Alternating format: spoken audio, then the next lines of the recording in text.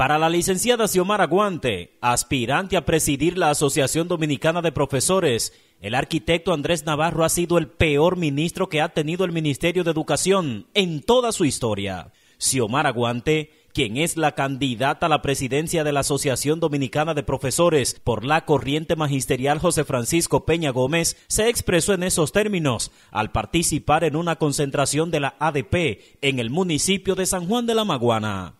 ¿Cómo califica usted la gestión de Andrés Navarro frente al Ministerio de Educación? No, pésima, pésima. Yo digo que ha sido la peor gestión. Mire, siempre hay problemas en el Ministerio de Educación y en, la, gestión con un ministerio que es tan grande y que envuelve un personal tan amplio y que envuelve eh, políticas públicas, varias políticas públicas como es el Ministerio de Educación.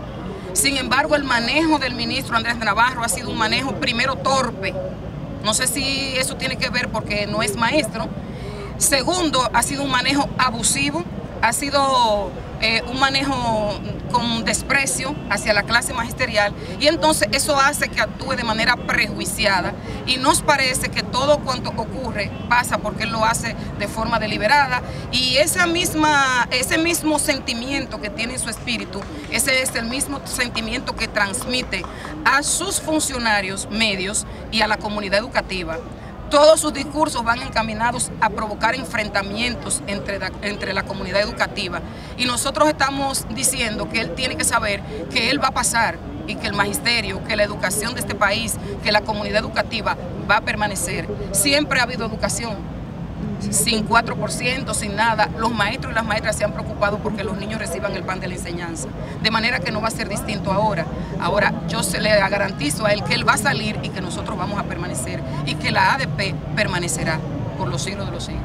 Xiomara Aguante dijo además que en virtud de que la Asociación Dominicana de Profesores vive en peligro, necesita tener un cambio en su trayectoria por lo que el próximo 10 de octubre los educadores deben votar por los candidatos de la corriente magisterial, José Francisco Peña Gómez. Bueno, lo primero es que la Asociación Dominicana de Profesores vive momentos muy difíciles, está en un momento de peligro y necesita definitivamente tener un cambio, un giro en su trayectoria y entonces nosotros pensamos que somos la mejor opción para ese cambio. Nosotros lo primero que haríamos es rescatar la imagen bien ganada que tuvo la Asociación Dominicana de Profesores hasta hace un par de años que se involucró en procesos que no le correspondía a la ADP y eso comprometió significativamente el buen nombre y la garantía de nuestros compañeros y de nuestras compañeras. De manera que lo primero que proponemos es el rescate de nuestra Asociación Dominicana de Profesores, la mejoría en las condiciones salariales y de vida en que se retiran nuestros compañeros jubilados y pensionados, la mejoría salarial que tiene que corresponderse definitivamente con el presupuesto suntuoso que recibe el Ministerio de Educación, que para este año sobrepasa los 153 mil millones de pesos. Sin embargo, los maestros y las maestras reciben migajas cada año cuando las reciben.